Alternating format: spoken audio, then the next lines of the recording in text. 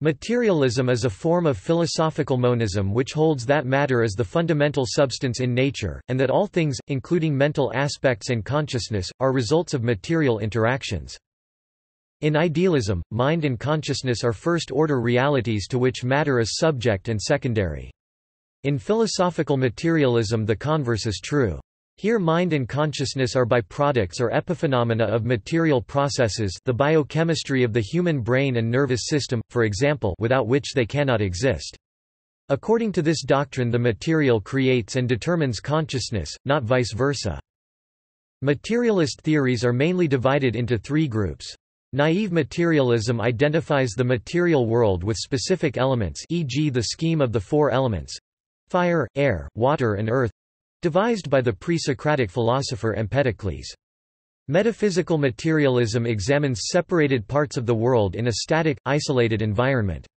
Dialectical materialism adapts the Hegelian dialectic for materialism, examining parts of the world in relation to each other within a dynamic environment. Materialism is closely related to physicalism, the view that all that exists is ultimately physical. Philosophical physicalism has evolved from materialism with the discoveries of the physical sciences to incorporate more sophisticated notions of physicality than mere ordinary matter, such as, space-time, physical energies and forces, dark matter, and so on. Thus the term, physicalism, is preferred over materialism by some, while others use the terms as if they are synonymous. Philosophies contradictory to materialism or physicalism include idealism, pluralism, dualism, and other forms of monism. Topic. Overview Materialism belongs to the class of monist ontology.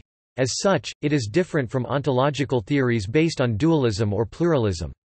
For singular explanations of the phenomenal reality, materialism would be in contrast to idealism, neutral monism, and spiritualism. Despite the large number of philosophical schools and subtle nuances between many, all philosophies are said to fall into one of two primary categories, which are defined in contrast to each other, idealism and materialism. The basic proposition of these two categories pertains to the nature of reality, and the primary distinction between them is the way they answer two fundamental questions. What does reality consist of? And how does it originate? To idealists, spirit or mind or the objects of mind ideas are primary, and matter secondary. To materialists, matter is primary, and mind or spirit or ideas are secondary, the product of matter acting upon matter. The materialist view is perhaps best understood in its opposition to the doctrines of immaterial substance applied to the mind historically, famously by René Descartes. However, by itself materialism says nothing about how material substance should be characterized. In practice, it is frequently assimilated to one variety of physicalism or another. Materialism is often associated with reductionism, according to which the objects or phenomena individuated at one level of description, if they are genuine, must be explicable in terms of the objects or phenomena at some other level of description—typically, at a more reduced level. Non-reductive materialism explicitly rejects this notion, however, taking the material constitution of all particulars to be consistent with the existence of real objects, properties, or phenomena not explicable in the terms canonically used for the basic material constituents. Jerry Fodor influentially argues this view, according to which empirical laws and explanations in special sciences, like psychology or geology are invisible from the perspective of basic physics. A lot of vigorous literature has grown up around the relation between these views. Modern philosophical materialists extend the definition of other scientifically observable entities such as energy, forces, and the curvature of space.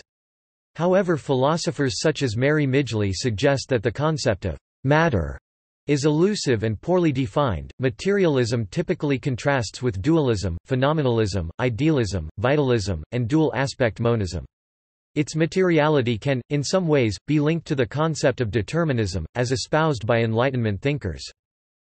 During the 19th century, Karl Marx and Friedrich Engels extended the concept of materialism to elaborate a materialist conception of history centered on the roughly empirical world of human activity practice, including labor and the institutions created, reproduced, or destroyed by that activity see materialist conception of history.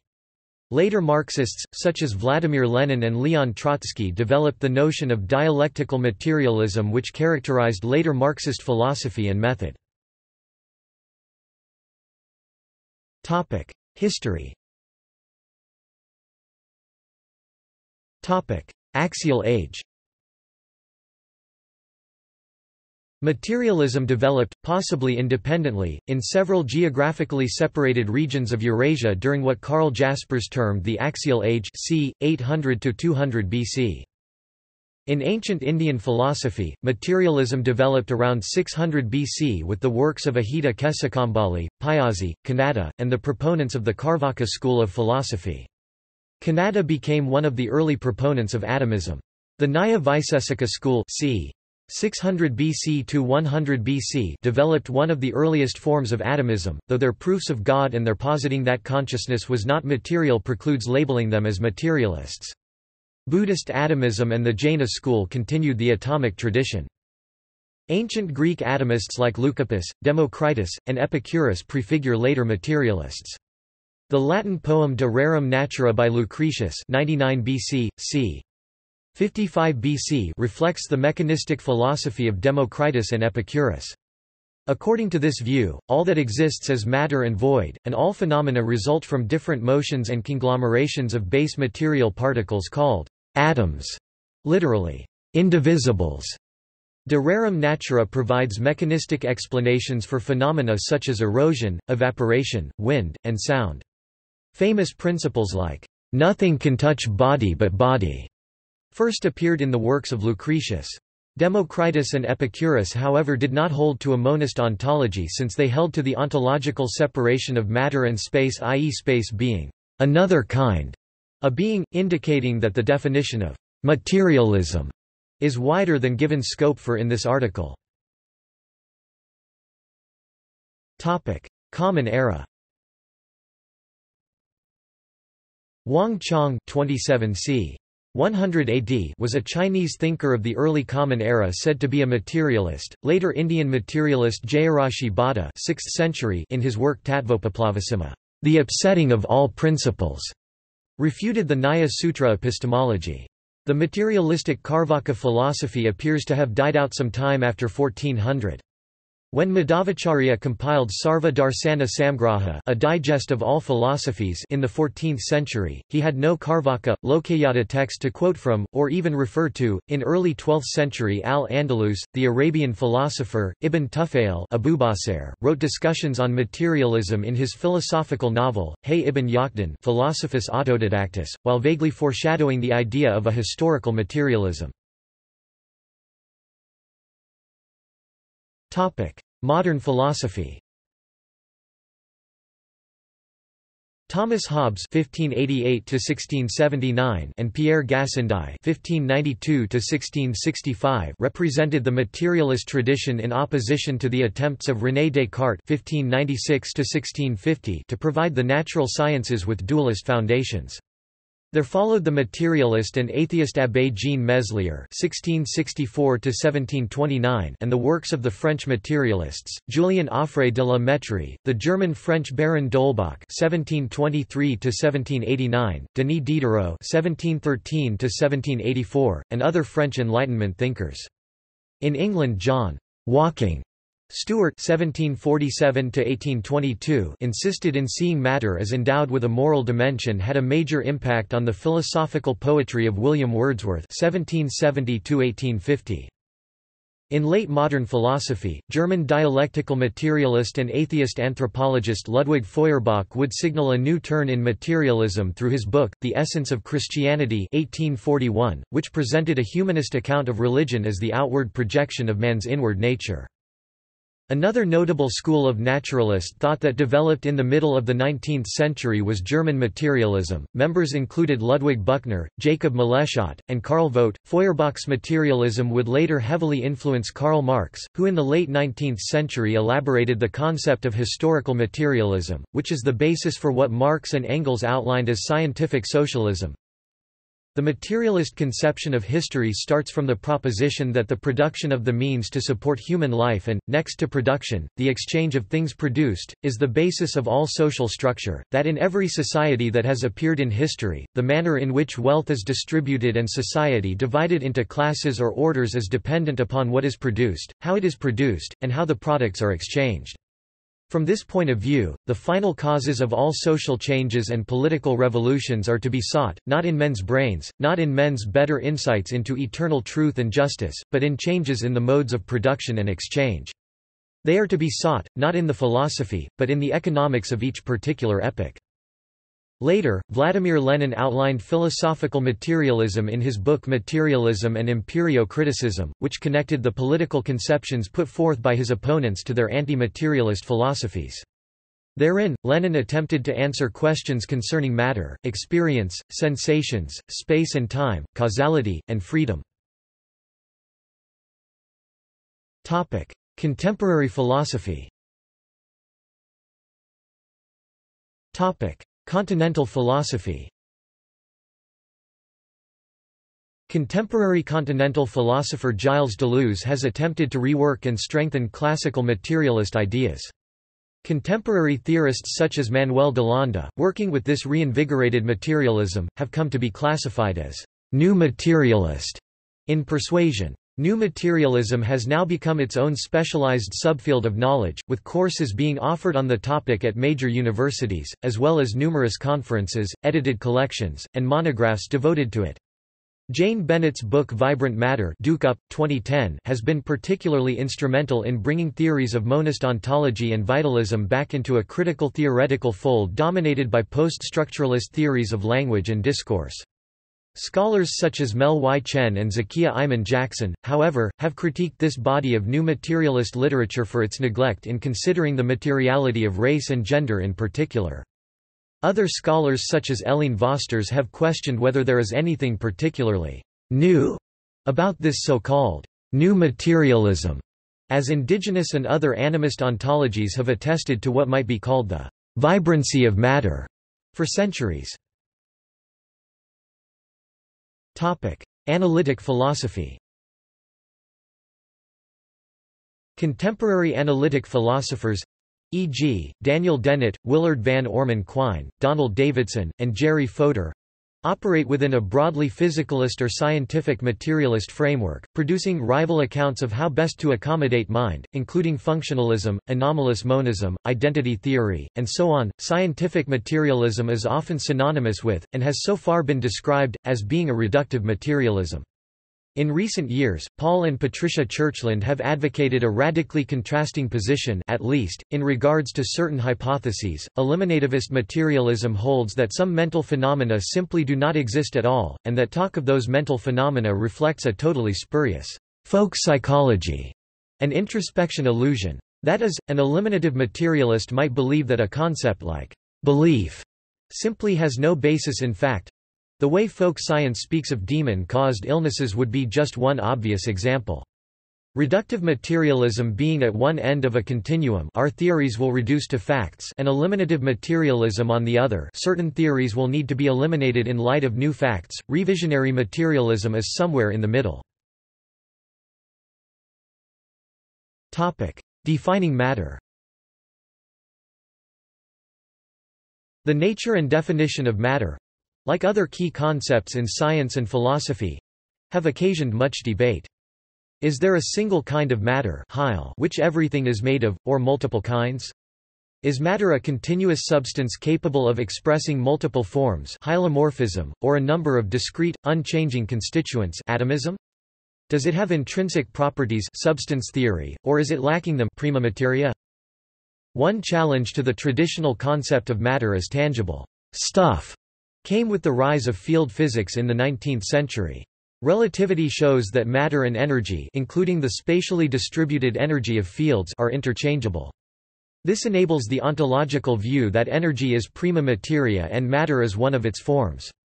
On the other hand, the standard model of particle physics uses quantum field theory to describe all interactions. On this view it could be said that fields are prima materia and the energy is a property of the field. According to the dominant cosmological model, the lambda CDM model, less than 5% of the universe's energy density is made up of the matter described by the Standard Model of Particle Physics, and the majority of the universe is composed of dark matter and dark energy. With little agreement amongst scientists about what these are made of, with the advent of quantum physics, some scientists believed the concept of matter had merely changed, while others believed the conventional position could no longer be maintained. For instance Werner Heisenberg said, the ontology of materialism rested upon the illusion that the kind of existence, the direct actuality of the world around us, can be extrapolated into the atomic range. This extrapolation, however, is impossible. Atoms are not things. Likewise, some philosophers feel that these dichotomies necessitate a switch from materialism to physicalism.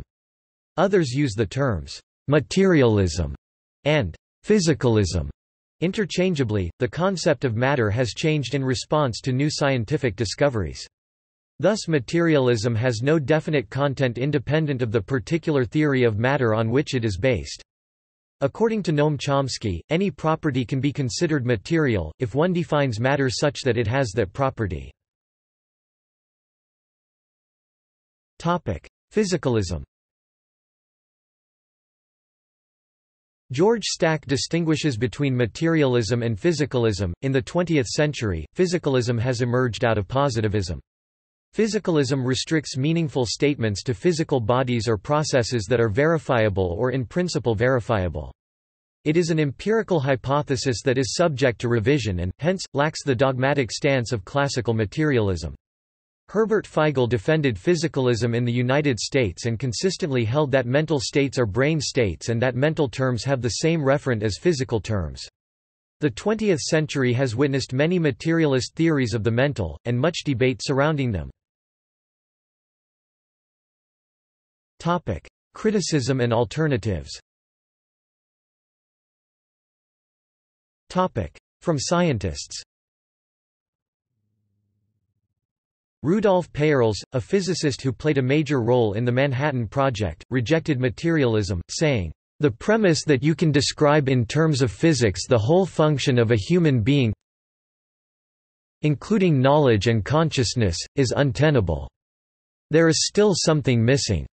Erwin Schrödinger said, "...consciousness cannot be accounted for in physical terms. For consciousness is absolutely fundamental." It cannot be accounted for in terms of anything else. Werner Heisenberg, who came up with the uncertainty principle wrote, the ontology of materialism rested upon the illusion that the kind of existence, the direct actuality of the world around us, can be extrapolated into the atomic range. This extrapolation, however, is impossible, atoms are not things. Quantum mechanics Some 20th-century physicists such as Eugene Wigner and Henry Stapp and modern-day physicists and science writers—such as Paul Davies and John Gribbin—have argued that materialism has been disproven by certain scientific findings in physics, such as quantum mechanics and chaos theory. In 1991, Gribbin and Davies released their book The Matter Myth, the first chapter of which, The Death of Materialism, contained the following passage, then came our quantum theory, which totally transformed our image of matter. The old assumption that the microscopic world of atoms was simply a scaled-down version of the everyday world had to be abandoned. Newton's deterministic machine was replaced by a shadowy and paradoxical conjunction of waves and particles, governed by the laws of chance, rather than the rigid rules of causality. An extension of the quantum theory goes beyond even this, it paints a picture in which solid matter dissolves away, to be replaced by weird excitations and vibrations of invisible field energy. Quantum physics undermines materialism because it reveals that matter has far less substance than we might believe. But another development goes even further by demolishing Newton's image of matter as inert lumps. This development is the theory of chaos, which has recently gained widespread attention. Topic: Digital physics. Davies and Gribbin's objections are shared by proponents of digital physics who view information rather than matter to be fundamental. Famous physicist and proponent of digital physics John Archibald Wheeler wrote, All matter and all things physical are information theoretic in origin and this is a participatory universe."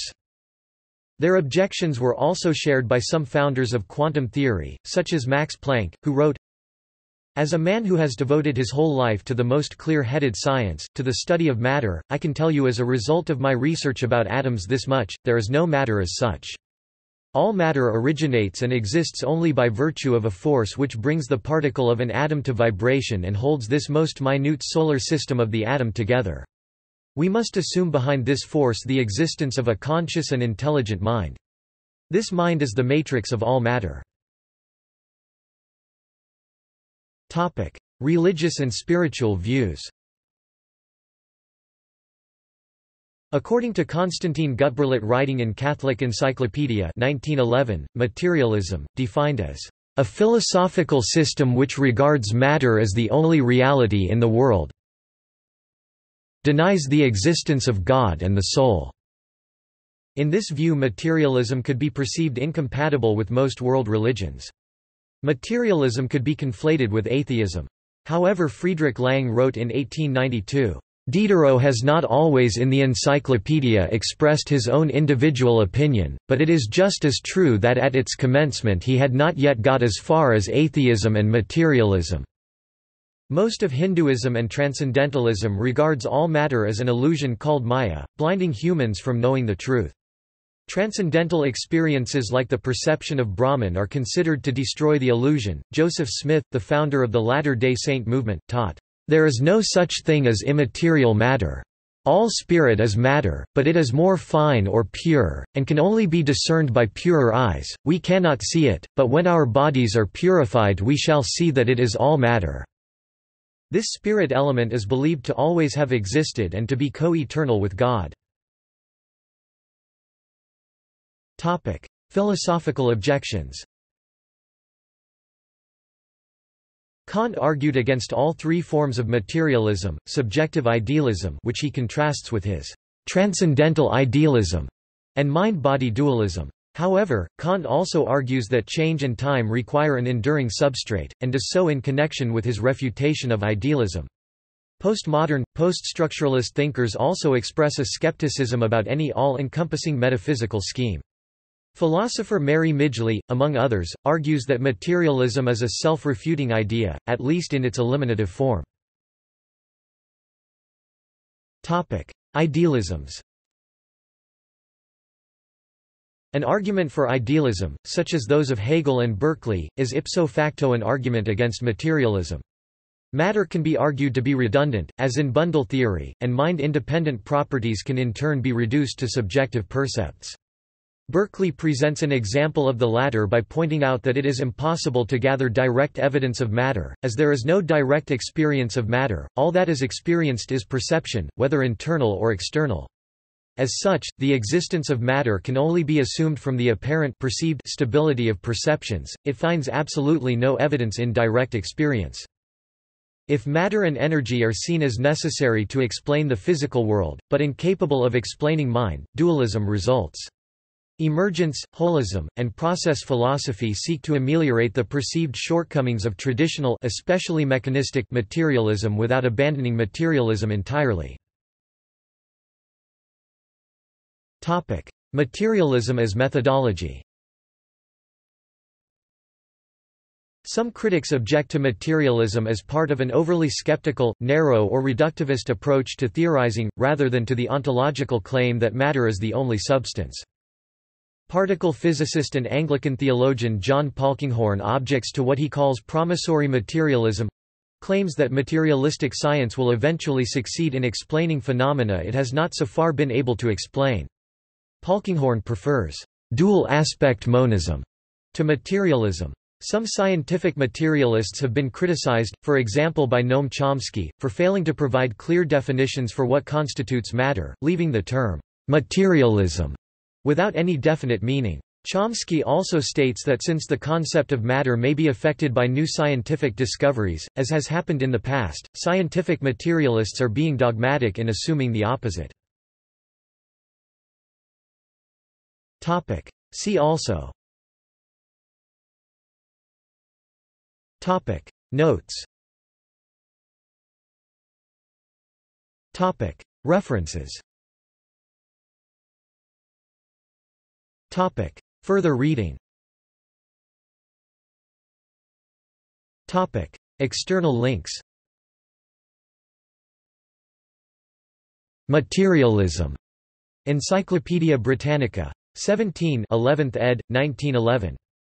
Stanford Encyclopedia Physicalism Eliminative Materialism Philosophical Materialism by Richard C. Vitzthum from infidels.org Dictionary of the Philosophy of Mind on Materialism from the University of Waterloo Materialism, BBC Radio 4 discussion with Anthony Grayling, Caroline Warman and Anthony O'Hear in Our Time, April 24, 2008.